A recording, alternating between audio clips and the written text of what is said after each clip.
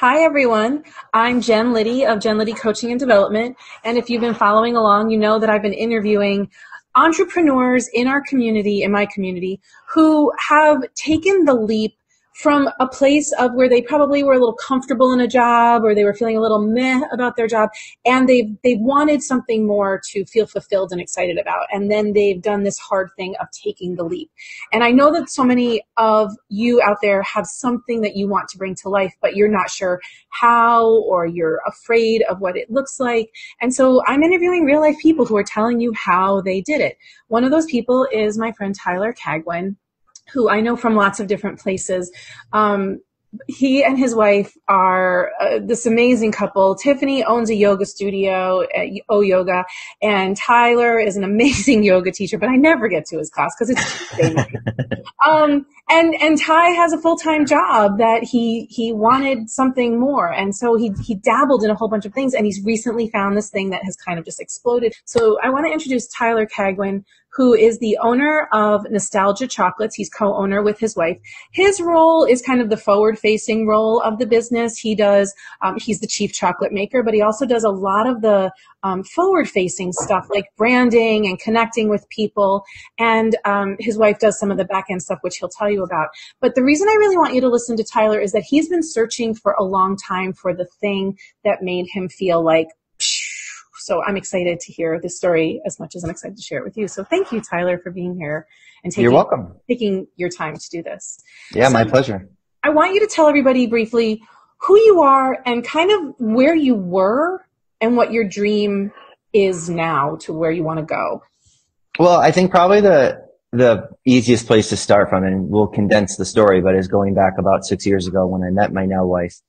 And I've I had been working for my family for third, well, yeah, I'm in my 13th year working for them. And when I met Tiffany, I, that was six or seven years into the job and it, the family situation is challenging to say the least. So, um, there's a lot of dynamics that, you know, it's kind of like those shows you see on TV. It's kind of how it is. And, you know, for a long time, I kind of got caught up in the, up in the politics of the whole thing, you know, like who do you listen to and where is this job going to take me? Is there a future in it? Will it be here? Um, you know, it was a company that growing up, uh, I always, you know, my, my mom worked there for most of my childhood growing up and I always really believed in it. I thought it was so cool that we had this family business and, and I still do. I think it's amazing. Um, but as time has gone by and I've made changes in my life to kind of separate from getting caught up in the, the political situation or getting absorbing other people's anger and frustration and bad attitude, um, my life started to kind of switch. And over time, Tiff and I have talked about, you know, like what is what what is our life going to look like? And I've watched her run a wonderful yoga studio or two of them now, and I think there's always been like a healthy amount of this, but a, a amount of jealousy in how she does it and that, you know, she has a beautiful company that she, um, has created and believes in and all that. And I had started to kind of lose focus on that for my job. And I, through working with you for, I don't know, a year and a half, I guess it was, um, you know, I, I really recommitted and found a new, a new energy in that job. Um, and then some other things happened and that, you know, kind of the wind was taken out of my sails, so to speak. So I reached a point where, uh, in the last year or two, while working with you part of that time, I needed to start to try to figure out like, is there something out there that I could do on my own? Like, I, I know I could find another job, mm-hmm. but for me, most of it was going to be a, a lateral move, which is totally fine because there would have been, you know, if I could increase my enjoyment of my job, certainly that's a big step forward. But, um, as far as pay goes, a lot of it would have just been lateral. And it would have taken away some of the flexibility that I have currently in my day to day, which after 13 years, one can imagine becomes pretty important to you. So, um, so for about two years, and so I, I just started to kind of put my, like, think about it. And I started listening to podcasts and then started to think about all the people around myself who are doing like you, my wife, like who have left other things and we're just like, we're, I'm doing this, like game on. And so through that, I started my own podcast and I did that simply because mo- really self-serving reasons. I wanted to have access and a reason to speak to people who were chasing their dreams or doing important things in the community or, or any number of reasons, but it was just people who were inspirational people. Mm-hmm. And so over the course of time, I thought about like, okay, well, maybe I could open up a clothing store that was mm. geared just towards CrossFit athletes. I well, this idea, yeah. Yeah, yeah. So, I mean, that was in the end a horrible idea. and, uh, and a, a acquaintance of mine, you know, in a nice way sort of said that. So ideas like that kept popping into my mind.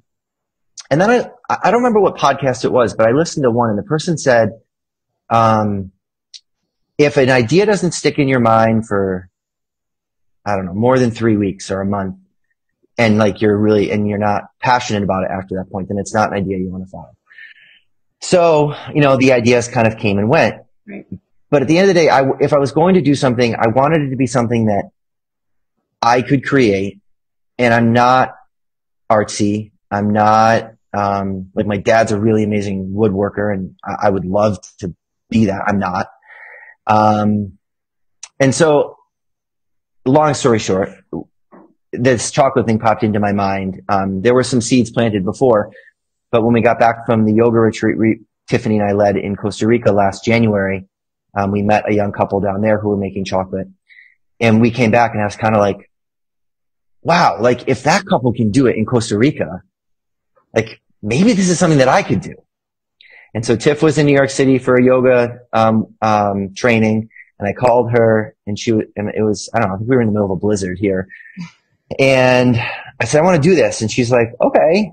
Um, is there a course or anything you can take? And I said, well, I don't know. Let me research. So I, I Googled, um, bean to bar chocolate making courses, I think.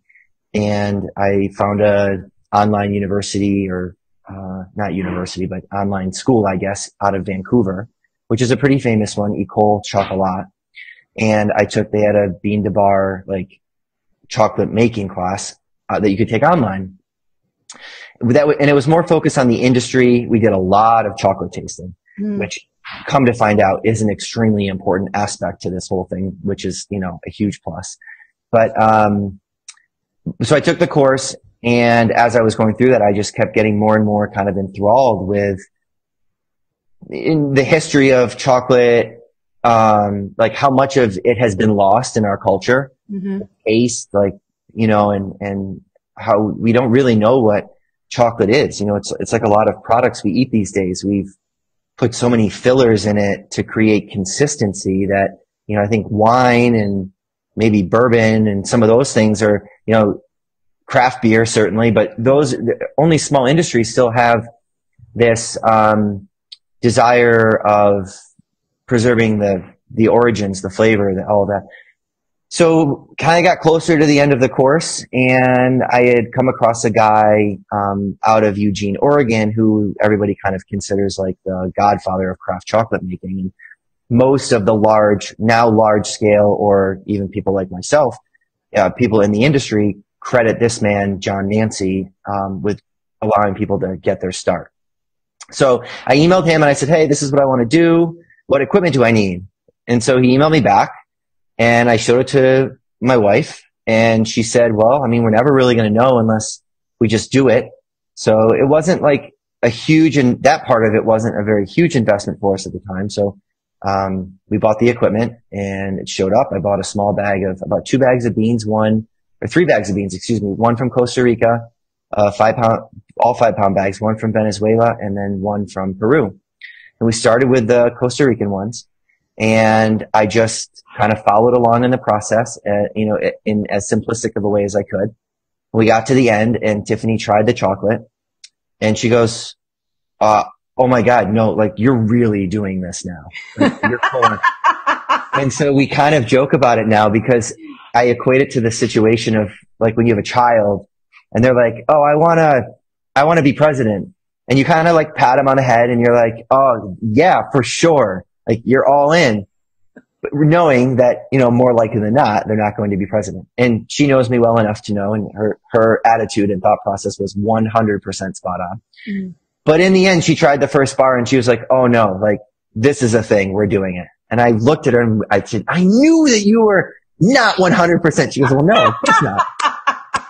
and so from there, it's just been pretty much full on. Um, and it, you know, yeah, so that answers, I guess, your first question. But yeah, um, you you talked about so much in there that my clients struggle with. You talked about the spousal support. Like you need to get your spouse on board for whatever you want to do, and you um, you had that Tiff was giving you space to figure it out for yourself, even though like that moment where you're like, oh, I knew you weren't really on board. Yeah, she was kind of giving you the space to to figure it out without without judging you, right? And I think a lot of my clients struggle with that.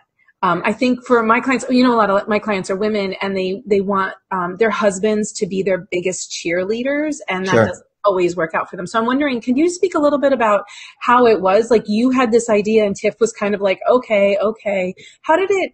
Can you can you give any advice to people who are in that position because you need the support, but you don't necessarily need like permission or like cheerleading, but y- you need to kind of be on the same page, right? Oh yeah, for sure. And I think especially once, um, you know, I, have learned through the mortgage business that, and it's the same thing in any relationship when money starts to get involved. And I, am in our relationship, I'm the most guilty of this for sure. But whenever money gets involved, people get weird about it. Mm-hmm. And Tiffany's a very open book as far as that goes. And, you know, it's been a struggle in our relationship for me to let go of I guess, my privacy about that. And it still is. And so this was kind of the first real opportunity. And we went through some struggles with it, certainly. Um, but I, I think, um, and I, I've learned, we've, we've learned this together. And I mean, not to be super cliche, but a lot of this came to me through my practice of yoga is that you've got to be super conscious of the other person's, um, point of view and have an understanding of that, even though you know that potentially in the end, it may not be the answer that you want.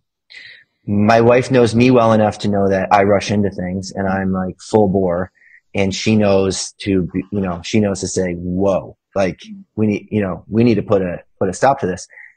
But we work through it together and, um, I think 90% of the time it's been, um, a lot of discussions about budget, um, she's been very good about keeping me updated mm-hmm. and staying on top of me for receipts. And I, I think the important part is, you know, trying to make the other person, even if they're not, but make them feel like they're a part of all of the decision making mm-hmm. and knowing that there's going to be give and take. So, you know, I think, I, you know, there's steps that I probably wanted to take 100%. And she was like, well, no, let's just, let's just do it this way. And in the end, you know, everything is worked out. So, you know, as far as expenses go, you know, we've, we've started, we're, we're kind of growing small where instead of buying like large scale equipment, we've been able to just kind of build piece by piece and go from there. I, I think probably, I think that's probably the most important thing is just knowing that in any conversation you're going to have with somebody else, you're not always going to get your way, and you've got to be will and I, you've got to be willing to give as much as you're expecting the other person to give. And I think a lot of times we go into conversations, especially difficult ones, already with our defenses up.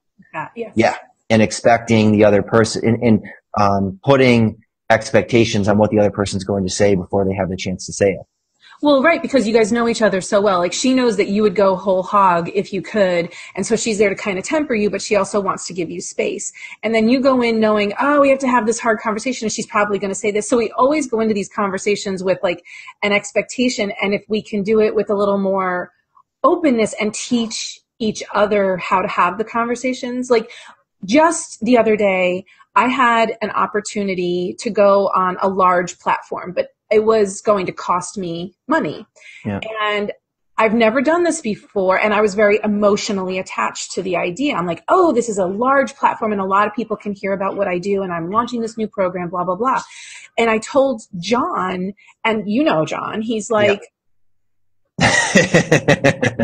like, he comes at it from the business side. He's like, yeah, well, sure. what's the return on investment? How do you know if it's your target market? Like he's asking me all the questions that I would ask my clients, right? Like that I would want yeah. my clients to think about. But you but, don't ask yourself. Right.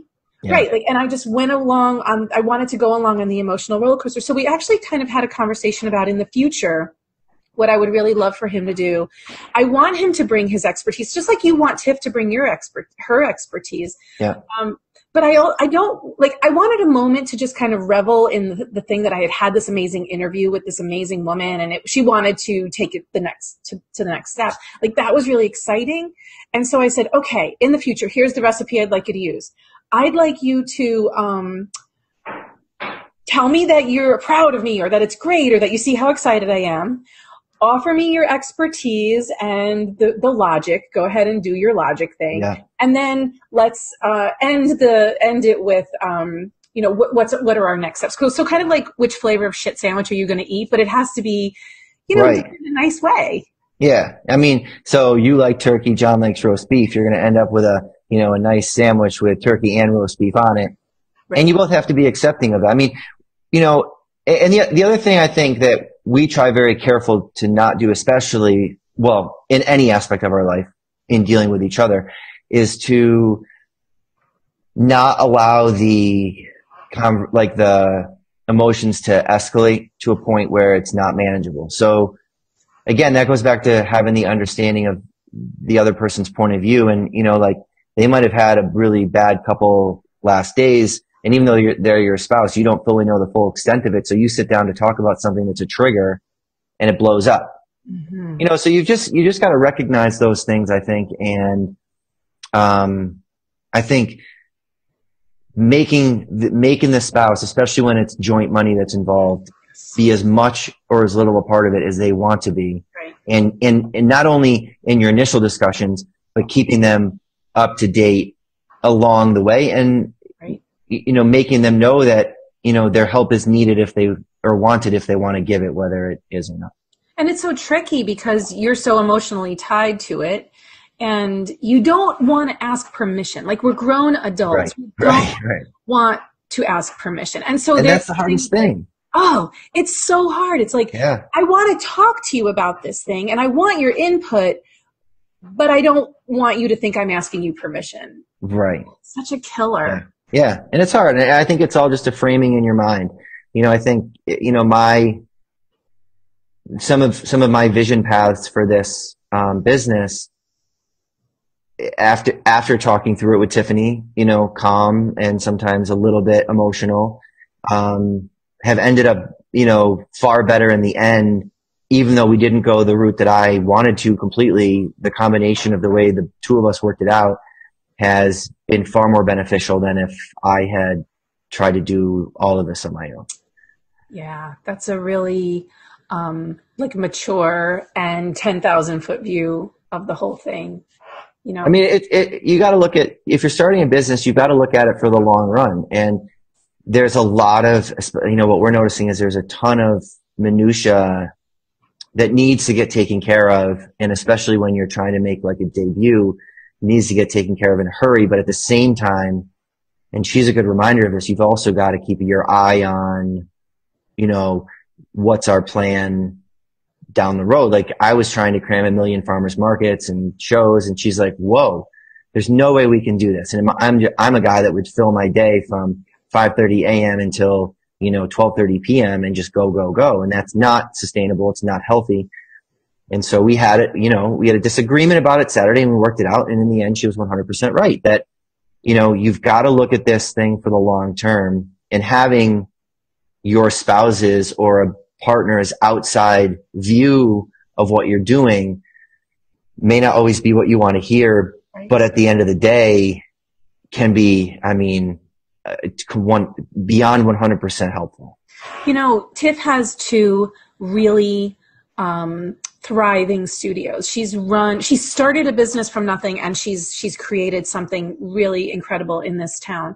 Um, she's run, she's running businesses like from all of the angles. She's done that, and she's done that by herself. And yeah you, my husband has done the same thing. Like he's a business guy. Like his, I'm, I'm an English teacher, right? Like, but he's the business guy. And so I think it's hard when you have a dream, like you and I have a dream. Um, like I know that often John is right. Just like you're saying, you know that Tiff is often right, but our egos and our emotions get in the way. And so I wonder if people like you and me could do a better job of asking ourselves, um, how is this person trying to help me because I often come at it like, oh, he's trying to hold me back, or he John is not trying to hold me back. Right. Why would Yeah. Tiff is not trying to hold you back? She's trying to keep you from burning yourself out, right? Yeah. Yeah. And John is trying to keep me from spending money that I don't want to spend on something that's not useful. So I, I think that, uh, that that when we get hot about what our what our spouses say, we have to remember how are they trying to help. Additionally, I think there are a lot of people out there whose spouses have opinions that don't necessarily like if your husband is a teacher and he's giving you business advice, maybe he's not the guy you take business advice from. You know what I mean? Like there's there's got to you've got to like play it out in your head a little bit more clearly. Yeah, I think I think you've got to understand the roles of the people around you for sure, and you've got to. I mean, obviously, listen to everybody's opinions because everybody has one. Everybody has. Um, but then also kind of evaluate your reaction to those opinions. You know, so when you're approaching what people are saying to you or who you're going to turn to, you first have to, you know, not to make another yoga reference, but you've got to look at your interactions with yourself hmm you know, and the way that you respond to your own emotions. And then you've got to look at your interactions with the world around you. So how are those, you know, serving you? And, you know, if you know that the people around you, if they're people you hold close and value enough to listen to their opinion, that they're going to have your best interests at heart. And you may not agree with it. And in the end, their opinion may or may not be right. Um, but I think, yeah, your, your point of finding the right advisors, um, is certainly important. And everybody serves a role. Um, and, and I've through this process, um, have been able to find, you know, somebody who's helping me really work on the, like the manufacturing process and cause trying to find organization in that and make sure that we're not missing, um, well, I'm not screwing up batches of chocolate, first of all, cause that gets very expensive. And then losing track of what I roasted here and what's in the grinder and what's ready to be molded and and then also tracking all, especially as a new business all you know we've got so many people contacting us for to sell the bars wholesale in their stores or I'm getting people contacting me to sell um, as like corporate gifts Mhm. things like that so I don't I know in the mortgage business when you get a lead handed to you Yeah. you don't want to lose it or screw it up and I I equate this to much the same way and, and that we want to make sure that we've got the people around us, both of us, to help us um, fuel the business and not allow us to get bogged down in avenues that are not beneficial. Right, like stuff that you could hire out for. Potentially, yeah. Yep. Um, so I love that conversation. Thank you so much for like talking about that piece of it because a lot of people won't talk about that. So I appreciate that. Um, but I know that you still have your full time gig and I hear all of the pieces and parts, like the administrivia and like the actual making of the chocolate and the behind the scenes and the operate, like all of it is so much branding and marketing. Um, what did you have to give up in order to put your energy toward making the stream real? Um, well, we've we've had a lot. Well, on the financial side, we've had a lot of budget talks, um, and you know, there's things that we both have had to cut out that we enjoy doing. You know, to free up. You know, I mean, fifty dollars here, twenty dollars there, hundred dollars here, because all of that, you know, all of that stuff makes a difference. Because there were things that, like, we knew in the back of our mind were going to pop up, but we just, you know, they just stay in the back of your mind. So. Um, so that's the first part. But it, to directly answer your question as it relates to my career, my job, um, I haven't. I I don't think I've given up anything. Um, I'm just having to work longer hours. So um, What about in your free I'm- time? Because I know your free time was really important to you and your workouts and your yoga. Is anything? Yeah, so well, we love to sail. Um, for instance, we, we've got our sailboat up for sale. So if anybody wants to buy a 28 foot sailboat, you know, this is the guy to talk to. Um, so you know that we were we were on it three times this summer, and it's been sitting on the mooring all season. So you know that's it's just it's not fair to the boat. It's kind of a waste of money for us, and so that was probably the biggest thing Hmm. you know, that's the biggest sacrifice because weekends are spent making the chocolate. I was away for two weeks in Oregon for an apprenticeship with a chocolate maker out there. um, the end of June. I was away for three days in the Hudson Valley at, um, everybody's going to laugh at this, but chocolate summer camp. Um, that's really what it was called. And it was at like, uh, kids overnight camp. Um, and, you know, so like, and then last weekend with the farmer's market, we were there Saturday and that was, you know, we left the house at 7.30 and didn't get back until quarter to three. Mm. And then Sunday, um, I squeezed in mowing the lawn and then it was off to the chocolate shop and I spent five hours there roasting to try to get, um, you know, stuff going for the week mm-hmm. to restock for this coming weekend and get the whole set. I mean, there's just a lot. So, so that sort of stuff we have had to give up. Um, but I also know that my, my job, you know, is a good, it's not, it's, you know, it's, it's a third of our income at least. Um, and it's important that I keep that going until we know if this is going to work. But we have sacrificed time together. We were just saying that this morning at breakfast that, you know, we don't, we didn't have much time together to begin with between Tiff's job at the yoga studio, my sort of crazy hours with originating mortgage loans. Right. And then I, I teach two days a week, one of which is a nighttime class. Right. And then we have my stepson, um, at least two nights a week and then every other weekend. So, you know, I mean, it's, I know people with multiple kids are just going to roll their eyes at me and say, "Oh, I would love your life," but for me, it's a lot. Um, you know, so it has. We are still working to try to find the balance. The nice thing is, you know, the hours at the farmers market we're together, and we do it as a family. So my stepson goes with us every weekend, um, even when we don't have him, and so we're together during that time, and we just try to make as much time together as as we can. I hear that it's a lot of everything and a lot of juggling, um, a lot of conversations and a lot of communication, which is what I think is vital. And I'm so thrilled for you guys that you're having those conversations. Um, are you having fun? Yeah. Yeah. I mean, uh, yes, overall 100%. I think it's been stressful and uh, I can't speak for Tiffany, but I'm having a really great time. I think most of the time, um, I look over there because she's in her office right now, but I, I, think most of the time it is fun. It's been exciting for us. Um, the way that our friends and family have, you know, really supported us. We expected nothing less because we try to just keep amazing people around us. Mm-hmm. Um, but they have just been outstanding. I mean, really, we, it's brought both of us to tears multiple times. Mm. Um, and so yeah, I mean, it, it, has been a ball. I'm, it's not, it, it's not in a million years ever what I would have expected doing. It's totally no, a random no. thing.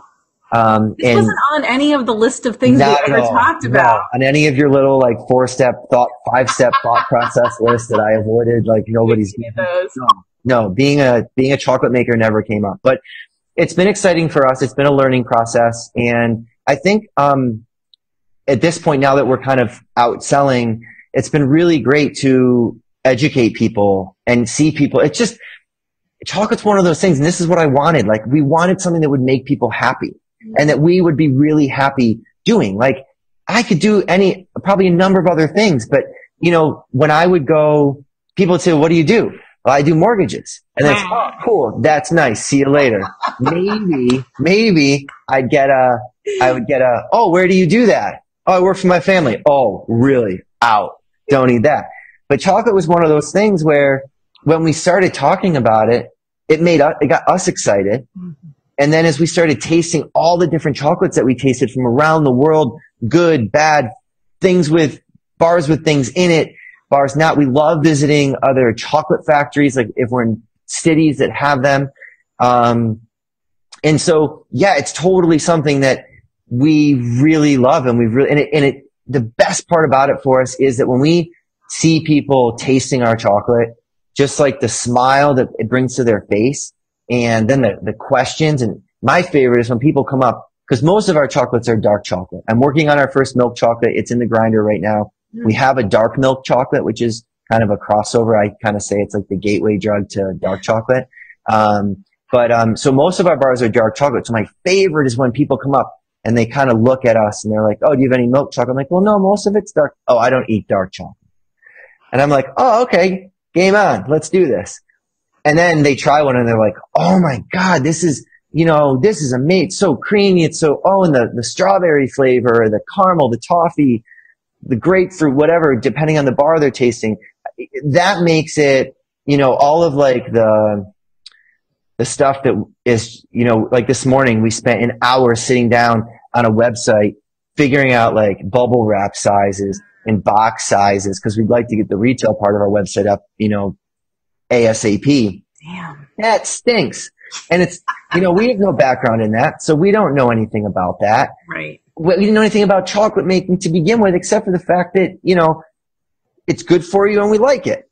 Um, but we've, you, you know, you just figure it out and you make lists and lists for your lists and you just, you, you know what, you know, people say, well, I don't know anything about, I love this, but I don't know anything about it. The biggest thing, and this is what Tiffany said, research it. Figure it out. Like Google it, YouTube it. The videos, they're all out there. Like Mm-hmm. research your life out of it and then determine if after you've done all the research, like the number of like boring, technical, way over my head papers I read during this course, like that were, you know, so long and such small like print. It was, but at the end of all of that, I was still like, we're doing this. That's that says everything. I was going to ask you what advice would you give to a creative who wants to bring their idea to life, and you literally Yeah, that's said it. everything. Do it, try it, research it, ask for help. Know that parts of it are going to suck. Like that's it's not all fun, but I when you watch this recording, I want you to see how friggin' lit up you are. Yeah, because you Like- saw me when the life was sucked out of I me. know. So, um. Yeah, I mean that's the biggest thing. We're in the age of information, and I think um, it's out there. And the other thing that, at least for our industry, which has been absolutely amazing, is the people that we've spoken to. I think out of maybe, I'm gonna well, I, I'm gonna say close to 60 chocolate makers that I've met from around the world at this point. Hmm. There has been one that was not nice everybody in some form or another has been and, and, and I've and I've formed relationships with probably five different ones where I email and this poor woman Mackenzie from Map Chocolate in Eugene, Oregon. She is a godsend to me and I idolize her because not only did she allow me two weeks of apprenticeship time with her um, and just nonstop, I felt like my stepson, just questions, questions, questions. But it's been worse since I got back. I'm like, all these questions. Hey, can you look over this? How did you do this? What's your, and she find those people and they're out there and they might not be here in your local city, but if you do some research and you reach out to people, um, They there are help. people out there. Yeah, for sure. Yeah. Right. It, the information's out there. That was the best thing my wife could have said was, you know, is there a course? Is there any place you can turn to to get it more information? That was, you know, the biggest piece of information because there you're, that's like dipping your tiny little baby toe into the puddle and it's n- typically not a big expense Right. and you just need to educate yourself before you decided this is what you want to do or take a leap from leaving another career. And if the idea won't leave you alone, you know that it's it's something to Right on. Yeah. If, if it's something that you just continually get excited about, I mean, any new idea is going to be excited when you first think about it. Yeah. You know, like to me, I think at the beginning of every growing season, I'm like, oh man, a vegetable garden would be amazing. I would love it. But it's just not an idea that sticks with me. I Yeah. built the vegetable gardens. Like I literally built two of them. And the most I've gotten out of them in two seasons is like one plant's worth of tomatoes. We ate a couple cucumbers, but that was it. How can people find you and your chocolates? So right now, um, so we're we're recording this middle of September. So for the next four weekends, we're at the Cazenovia Farmers Market, and then by I'm hoping either the end of this week or at the latest the end of next week is my goal. But I'm hoping sooner rather than later we'll have the retail part of our website up, which is nostalgiachocolates.com. So chocolate with an S. Dot com. And we have the website up already. Awesome. Um, so people can check us out there. We're on Instagram and Yeah. Facebook, Nostalgia Chocolates for both of those. Um, and if anybody has any questions, you can just email nostalgiachocolates at gmail.com and one of us will get back to you. But, um, yeah, and you know, as far as the Syracuse area goes, we're hoping, I mean, we'll ship, but we're hoping we can either have like a pickup um, situation at some point. We don't have a storefront yet, um, but we're kind of moving in that direction. We're in a spot now where we're producing, but we're kind of moving um, a little bit in that direction. So stay tuned for that. Wow. I'm so impressed. I'm so proud of you. I love seeing you so happy. I'm really well, happy for you guys. Thank you. Yeah, I mean, and Jen, a lot of it has to, I mean, oh. a lot of it has to do with the work that we did. I know you say no, but I mean, it, it truly does. The thought processes that we worked through and, um, you know, I brought you on to kind of help me fix my mortgage process, but Lord knew we had much deeper processes to fix. You know, and I think, I, you know, and that, that was 100% invaluable for me and my outlook on a lot of things. You know, I'd, I'd worked hard to get out of my mental rut of um, absorbing other people's negativity around me for a long time and I was starting to fall back into that. And, you know, I mean, I have a wonderful wife and the work that you and I did together, um, you know, just reshaped my mind. And I was like, life's too short and there's too much enjoyment. If I'm going to have to work, I want to be working doing something that I can enjoy doing and like feel like I'm bringing some real benefit to other people's lives. And, and that's really where a lot of it, a lot of this all stemmed from so honored that you said that. Thank you. And I'm so proud of you. And so I have tried your chocolates at Tiffany's birthday party and like I would have just stayed around that dining room table all night. Thank you. And I don't even have the palate that I know you must have. So I, and I still, I, they were delicious. So um, I'm going to drop all of the information of how to get in touch with Nostalgia Chocolates. Um, if you can get to Tyler's class, he gives a really amazing class. Tuesday nights at 5.30, right? At O. Yeah, at the downtown and uh, Mondays lunchtime in DeWitt. Thank yeah. you for that plug. Yeah, I love, I love your class. I, I'm always, believe me, I wish I could make your class. Um, but I want you to see this man as somebody who was not happy and look at him now. Look at what he's bringing to life because he, he can do it. I can do it. You can do it. So, yeah. Yeah. Thanks, Jen. Thank you so much. This was so much fun. Yeah, my pleasure. Okay.